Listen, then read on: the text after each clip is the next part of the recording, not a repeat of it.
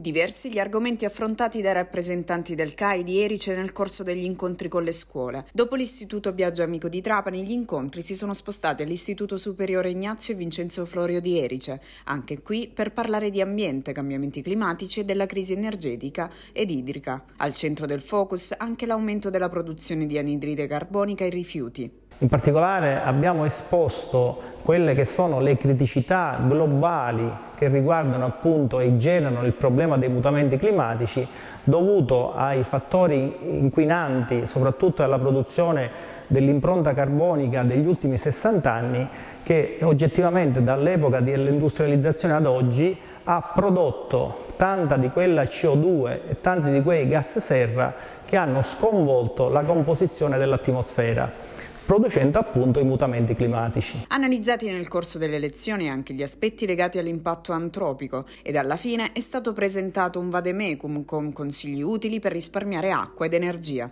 Sì, abbiamo proprio analizzato insieme agli studenti il fenomeno dell'impatto antropico sul pianeta negli ultimi cento anni. In particolare abbiamo potuto rilevare che la popolazione mondiale è passata dal, 1800, dal 1860 al 2020 è incrementata di ben 4 miliardi di persone negli ultimi 60 anni.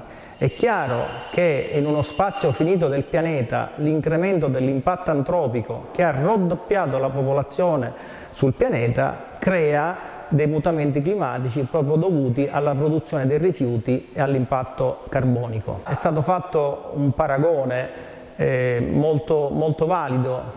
I singoli individui eh, apparentemente possono fare poco, sono state rappresentate come le gocce dell'acqua nel mare, ma le gocce nell'acqua del mare, quando si mettono insieme e formano un'onda, hanno una capacità, una forza, un impatto capace come dire, di affrontare e superare qualunque ostacolo Ecco, noi singoli individui possiamo, cambiando atteggiamento, cambiando comportamenti, cambiando stile di vita e assumendo tutta una serie di comportamenti adeguati per quanto riguarda il risparmio idrico ed energetico, perché il problema della produzione di energia è il maggior produttore, come dire, delle, dalle fonti fossili dei mutamenti climatici. Allora risparmiare l'energia e risparmiare l'acqua sicuramente può essere un comportamento utile a mitigare il problema sul pianeta. Gli studenti dell'Istituto Superiore Ignazio e Vincenzo Florio, scuola impegnata da anni sul fronte della tutela ambientale, hanno seguito con forte interesse questo momento di formazione curato dal CAI.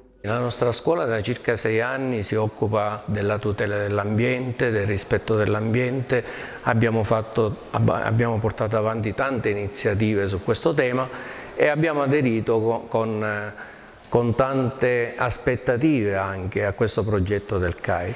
Quindi la scuola si propone sempre di essere all'avanguardia nella sensibilizzazione su questi temi così importanti che oggi rivestono un'importanza eh, mondiale direi e quindi i ragazzi devono essere a conoscenza, non solo, devono prendere coscienza di questi problemi dell'ambiente. L'idea del progetto è sicuramente un'idea positiva, quindi i ragazzi stanno cominciando a cogliere gli aspetti essenziali di questo progetto, quindi risparmio energetico, risparmio idrico eh, sotto l'occhio di tutti. Quindi